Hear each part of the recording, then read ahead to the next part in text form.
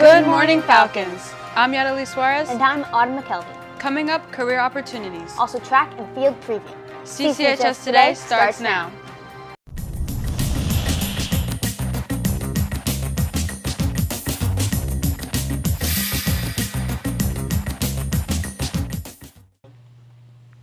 An Air Force recruiter is coming to visit on Tuesday, April 16th at 10 a.m. in the library. This is a sit-down conversation with the recruiter to learn about what is involved in joining and what opportunities and expectations there are as a member of the United States Air Force. This visit can be used to fulfill a requirement for your senior project. If interested, please sign up at the College and Career Center desk in order to obtain a pass for the meeting.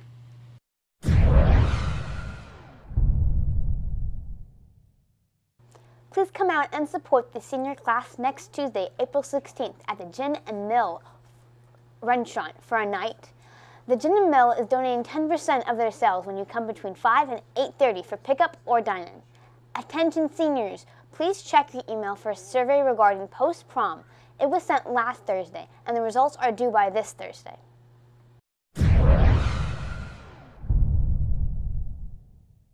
This Friday, April 12th, Minithon will be holding their main event. You can pre-register online for a guaranteed t-shirt or just bring your money the day of to register.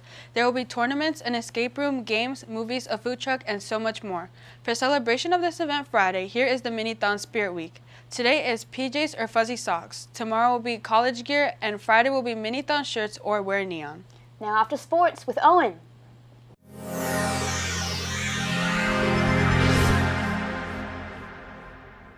Yesterday, the girls lacrosse team played Penn Manor at home. JV lost 12 to 3. Goals were scored by Lainey Snavely, Ava Capwell, and Taylor Woods. The varsity team also lost to Penn Manor 17 to 5. Goals were scored by Avery Leckleitner, Caitlin Brenner, and Bree Kaler. The girls played again tomorrow night against Hempfield. Congratulations to the Falcons boys tennis team for improving their overall season record to 8 to 1 with a dominating 6-1 victory against Ephrata. Next up is a home match today against Conestoga Valley. Coming out to the courts and watch the great tennis and celebrate all the accomplishments of our three seniors, Ben Sheffield, Colin Aitken, and Finn Royer, have given the, to the tennis program. With the track season upon us, BB2 correspondents Asher Ford, Andrew Seeger, and Ethan Bowman made a preview for the sport. From distance runners to javelin throwers, the track team works together as a family to represent Cedar Crest athletics. After warming up on the turf, each group moves to practice for their events. Coach Baird tells CCHS Today how the season is shaping up so far. We've been preparing for this season ever since the first week in December. Kids have been working hard three days a week, December, January, and February. Other kids have been swimming, wrestling, playing basketball to get ready for this. And then the next thing we did, we made sure we came up with a good theme. So we got a great theme this year. It's called Pay the Rent. Success is never owned, it is rented, and the rent is due every single day. And these teams, we're paying the rent. Yeah, I think there's very few challenges when it comes to Cedar Crest track and field. I think the biggest thing that we need to do is we need to come together as a team. That's really, really important. We've done that year in and year out, and I expect that's going to take place as well. So as of now, we're doing a great job of coming together as a team, and we're going to overcome any obstacles that might get in our way.